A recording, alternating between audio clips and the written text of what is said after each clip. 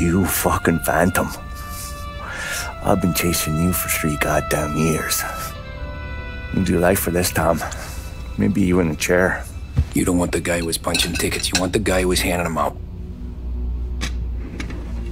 So that's what this has been all about, huh? You offering up Salieri. The Don's books. The ones Frank stole. I have them. They're enough to put Salieri away forever, and they're yours. Assuming we have a deal. My family. For the Don.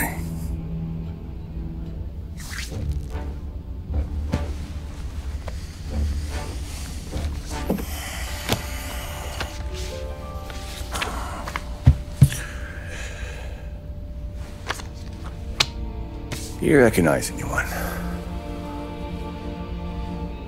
Look again.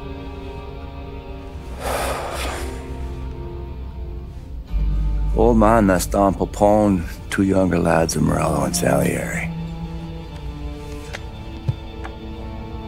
Yeah. Okay, I see it. That must be what? 1920? April. Morello's wedding. Salieri was the best man.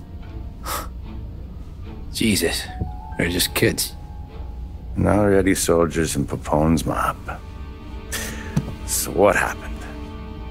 How did they go from being best mates to Morello on a slab? I don't know. I didn't even know they were friends. But you don't know could fill up the fucking Chrysler building. In 22, Pepone drowns up at the lake. Right? In order to keep things running smoothly, Salieri and Morello agreed to divvy up the city. Yeah, I heard the story, so what? Well, their friendship should have made the deal work, but didn't make a lick of difference.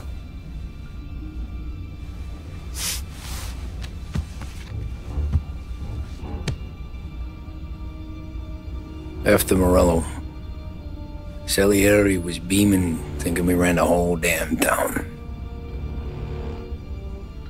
Me, I was just happy the war was over. But then I got to thinking about something.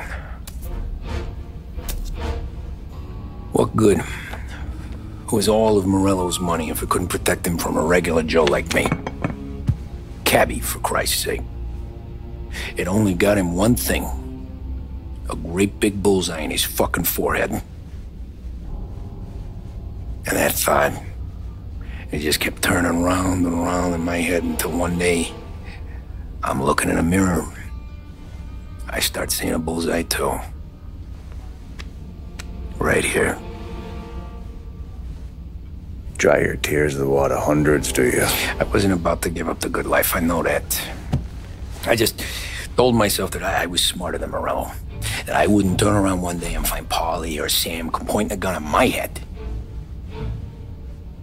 The thing is, you don't see it.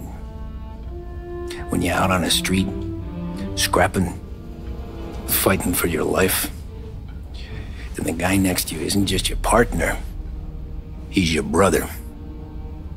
You'd stick a knife in someone for your brother, right?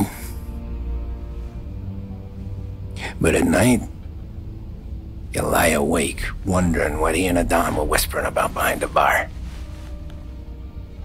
Wondering if your best friend is hungry enough to betray you.